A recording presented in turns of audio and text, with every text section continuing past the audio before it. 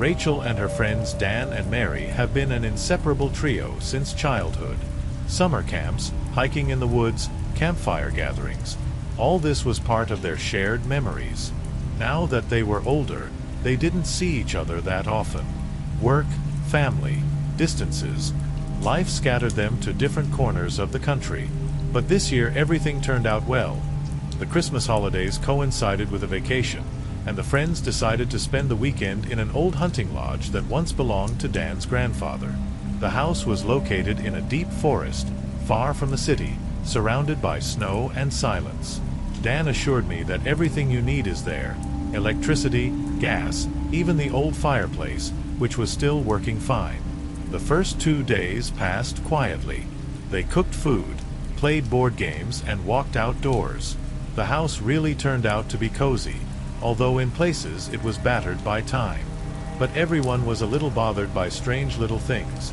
The creaking of floorboards that sounded like footsteps, the tapping of branches on the window when there was almost no wind, and also a broken walkie-talkie that should have been connected to the generator. On the third day, Rachel woke up to a noise in the kitchen.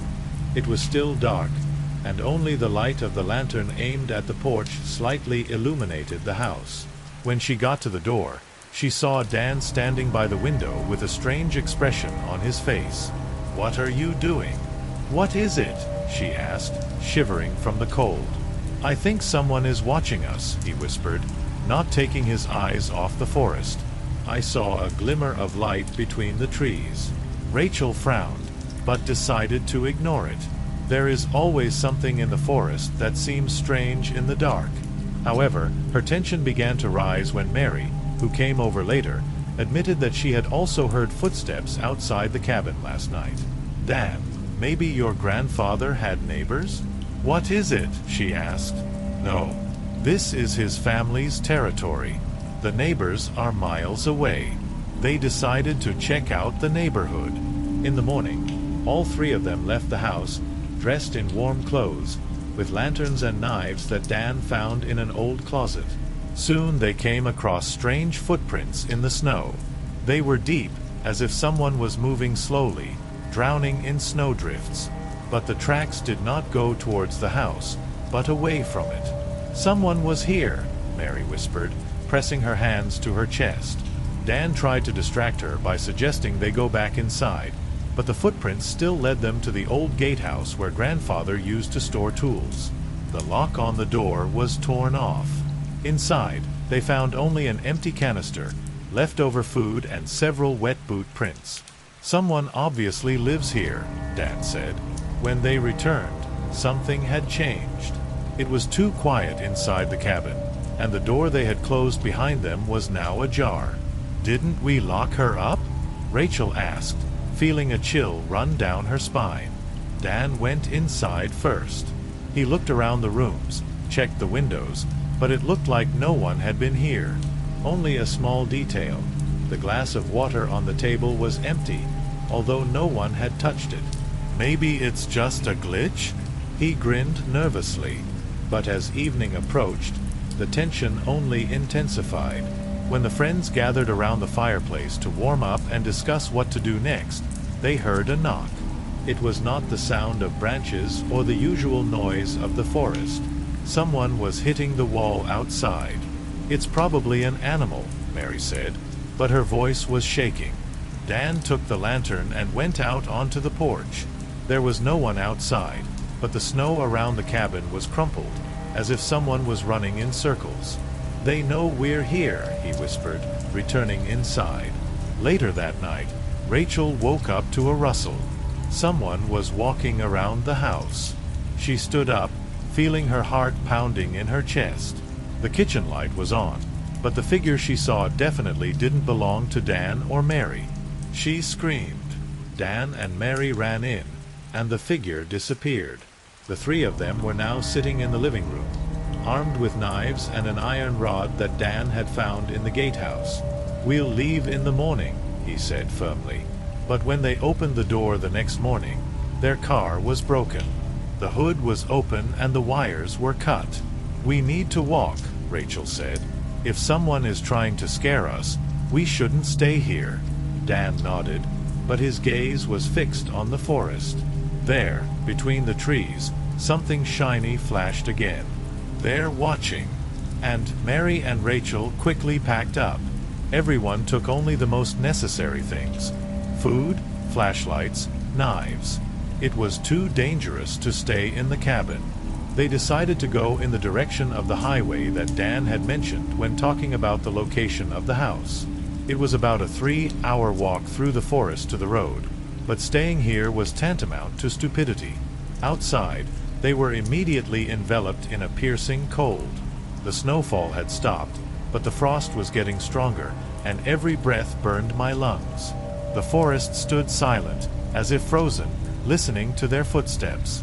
The tracks around the cabin were almost covered with fresh snow, but in some places you could still make out deep boot prints that led in the same direction they were going. They could have left, Mary suggested quietly, but her voice sounded uncertain. Or they're waiting for us somewhere ahead, Dan snapped, looking around. Rachel walked last, constantly turning around. It seemed to her that someone was watching them, but whenever she looked back, there was nothing suspicious. After an hour of walking, they came across something strange. There were traces of a fire in the snow, burnt branches, and several things that seemed to belong to them. It was their lantern, the one Rachel had left in the cabin. How did he end up here? She gasped, picking him up. Dan examined the place. He didn't like that their things were taken outside. He found a charred piece of paper among the ashes of the fire. There were several lines written on the paper. They see you. You will not leave. Mary gasped softly, looking at the inscription. This is someone's stupid joke. Rachel tried to calm herself, but her shaking hands betrayed her fear. Or someone is serious, Dan replied calmly. They moved on, trying not to think about the strange find. But now the atmosphere around them has become even more tense. The silence of the forest seemed abnormal. I couldn't even hear the birds. After a while, Dan raised his hand, motioning the others to stop. Listen, he said. At first, nothing was heard, but seconds later it became clearly distinguishable. Someone was walking behind them. The footsteps were slow, measured, and coming closer. Rachel turned around nervously. A figure flashed through the trees in the distance. Hurry up, Dan commanded, grabbing both girls by the arms and practically pushing them forward. They ran, almost without feeling their legs, making their way through snowdrifts. The sound of footsteps behind them grew louder. When they reached a small clearing, a man appeared in front of them. He was wearing a mask, dressed in dark clothes, and holding what looked like a tire iron. Wait, Dan shouted, holding the knife out in front of him. But the man did not approach. He just stood there looking at them. Suddenly, a new sound came from behind. A second man appeared behind them.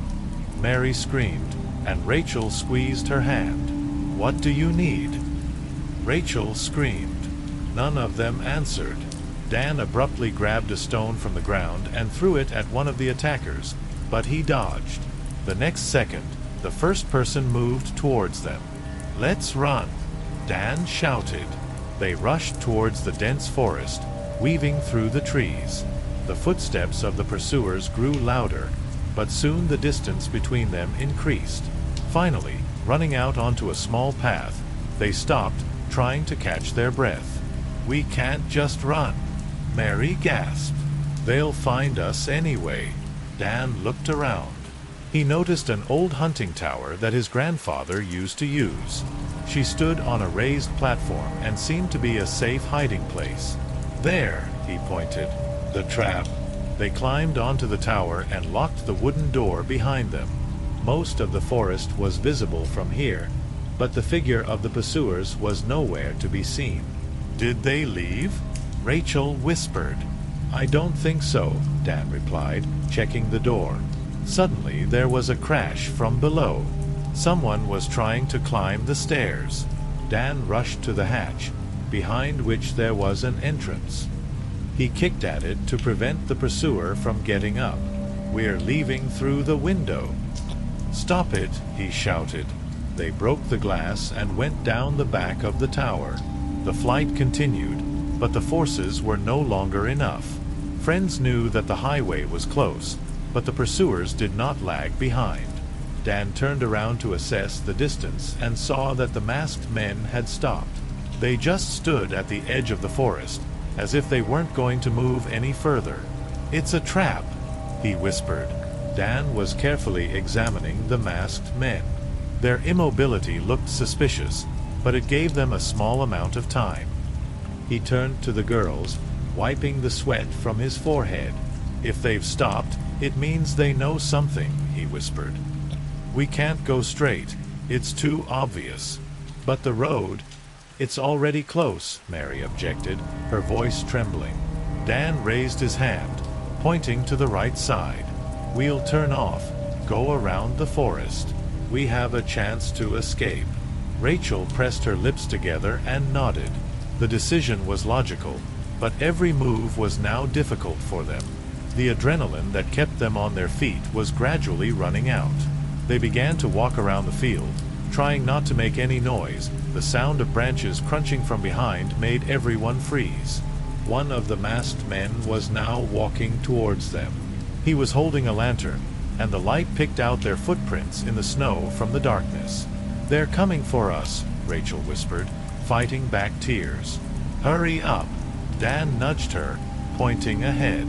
They began to move faster, making their way through the thorny bushes. Every step was an effort, every breath was excruciatingly heavy. After a few minutes, the group found themselves on a small hill. From here, the clearing leading to the road was visible. Dan looked down and pointed to the path. Let's run there. There's not much left. But as soon as they took a step, there was a loud crunch in front of them. It was the sound of an alarm. Damn it! Dan screamed, looking around. The masked people knew they were here and set traps. The sound echoed through the forest, attracting attention. Footsteps sounded again from behind. Now not one, but several people were moving towards them. Hurry up, he shouted, pulling Mary by the hand. They took off, leaping over roots and fallen trees. The road was getting closer, but now they realized that they were not in time. There was a high grid in the way, rusting with time. Mary tried to climb over it first, but her jacket got caught on the wire.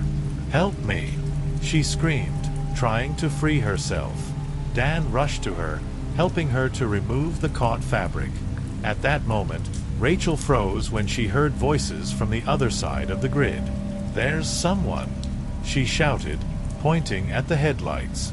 Dan, having freed Mary, turned around abruptly. It really was a car. Someone was approaching the road. This is a chance, he muttered. They jumped over the net and ran to the car. Dan was frantically waving his arms, trying to get attention. Wait, help us. The car stopped. A man with a flashlight got out of it. He was in a policeman's uniform. What's going on here? His voice was stern, but it seemed like salvation. We've been attacked, Rachel shouted. The people, they're behind us. The policeman immediately understood the seriousness of the situation. He pulled out a walkie-talkie and started talking, ordering them to get in the car, but as soon as they took a step forward, a rumble was heard from the other side of the road. The pursuers appeared on the trail. The policeman reacted quickly, pointing a gun at them. Everyone stop! Stop it, he shouted. But instead of obeying, the masked men stopped, only staring at the group.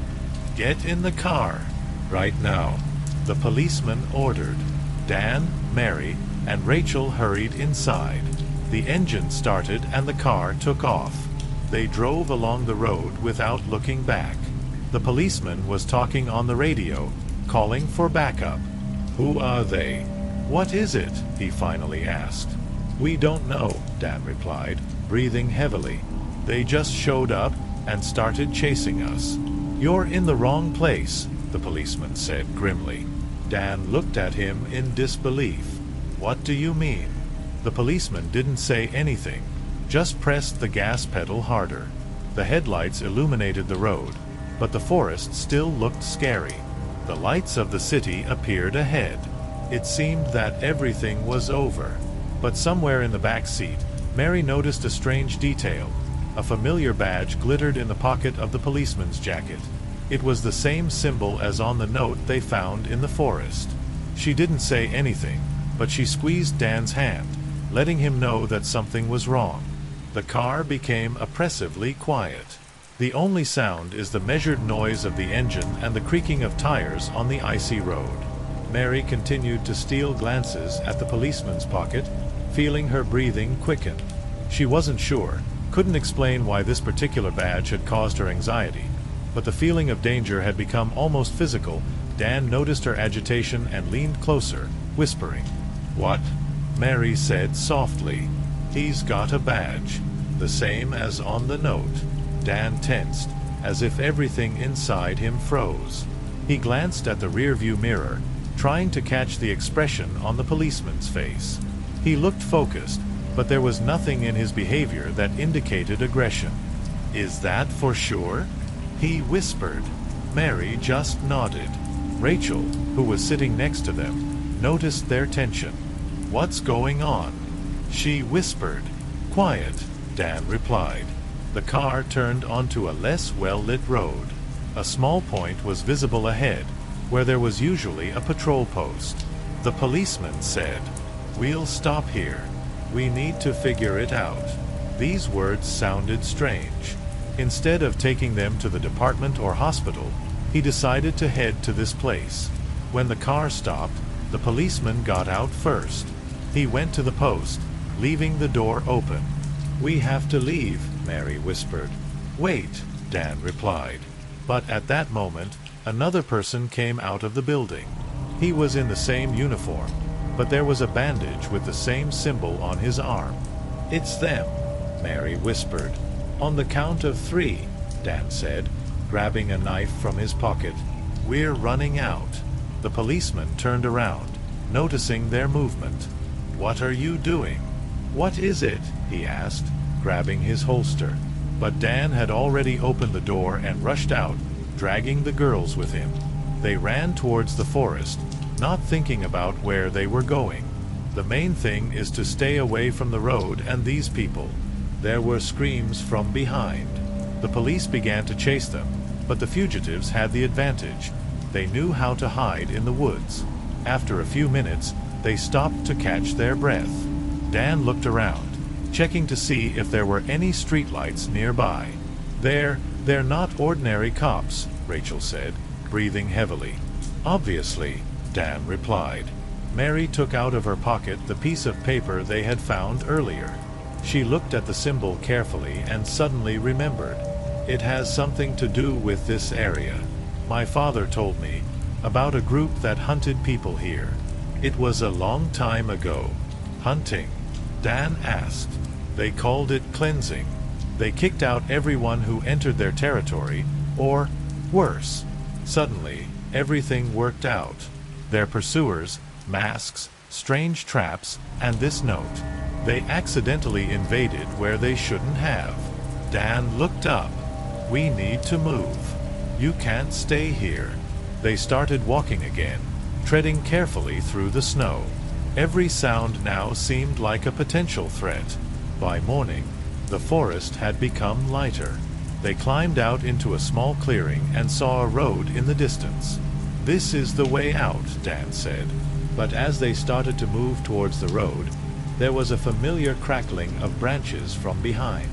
As they ran towards the road, their legs were barely holding up from fatigue, and their hearts were pounding as if they were ready to break out. With every passing second, it seemed that their pursuers were getting closer. Mary turned around, and in the dim morning light, it seemed to her that one of them had jumped out from behind the trees.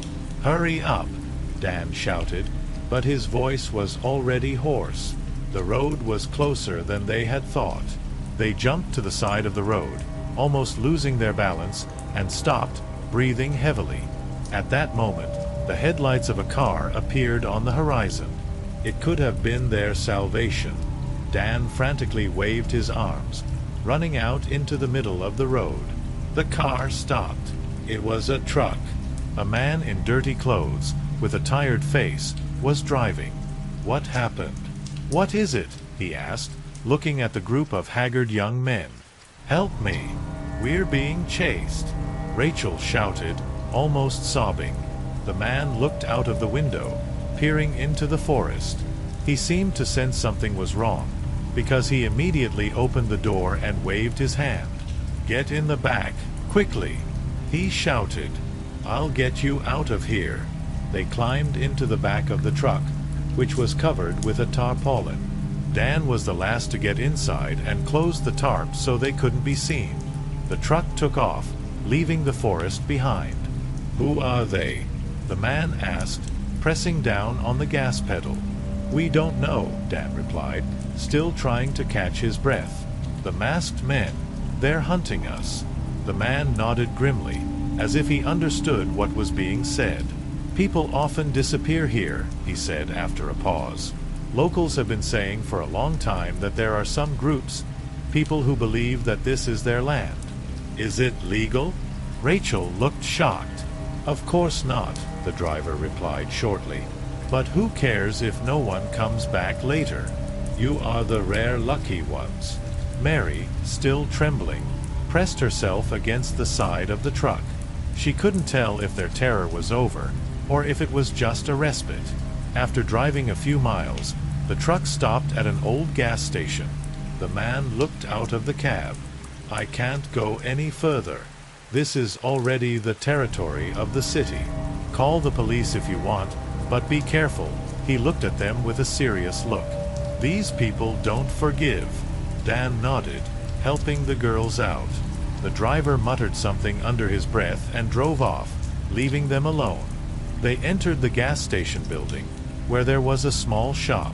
The cashier, an elderly man, looked up in surprise. What happened to you? What is it? he asked, looking at their ragged clothes and frightened faces. We need help, Rachel gasped. We, we were being chased. The man nodded, picked up the phone and started calling the local police department. Soon a patrol car pulled up. This time the officers looked real. They listened to the group's story and promised to figure it out. We'll send people there, one of the officers said, and we'll take you to the station to make a detailed report. When they were finally safe, Dan felt the tension ease. But something was gnawing at him inside. Why did this happen to them? Was it an accident, or were they just caught in the net of someone else's madness? A few weeks later, the police closed the case, saying they had found no evidence of crimes. The forest was declared a private territory, and access to it was limited. But neither Dan, Mary, nor Rachel returned to the area. Their lives went on, but every time they heard the creaking of branches or saw shadows in the forest, their thoughts returned to that night. Someone may have stayed in the forest, watching others who accidentally went where they shouldn't have.